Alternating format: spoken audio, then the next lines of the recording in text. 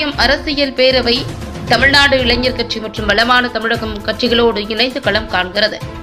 இதில் சகாயம் அரசியல் பேரவை சார்பாக இருபது வேட்பாளர்கள் தேர்தலில் போட்டியிடுகிறார்கள் என்று அறிவிக்கப்பட்டிருந்தது. இந்நிலையில் சகாயம் அரசியல் பேரவை சார்பாக இருபது வேட்பாளர்கள் வேட்புமனுக்களை தாக்கல் செய்துள்ளனர்.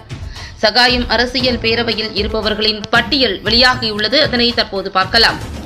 ஜெயராஜ் கிள்ளியூர் புஷ்பராஜ் கடலூர் நாகஜோதி மதுரை மேற்கு ராஜ்குமார் மயிலாடுதுறை ரேவதி ஜெயக்குமாரி வேளச்சேரி கேசவ பெருமாள் விருத்தாச்சலம்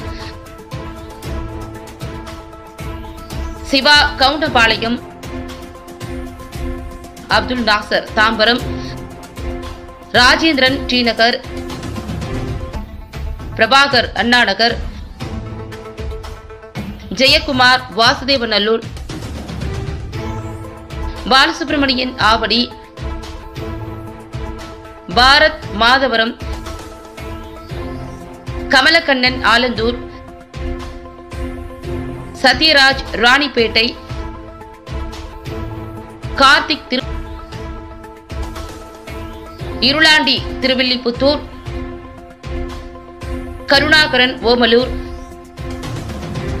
துரைராஜ் கோவை வடக்கு அருள்ராஜ் ராக்ராய் குளச்சல்.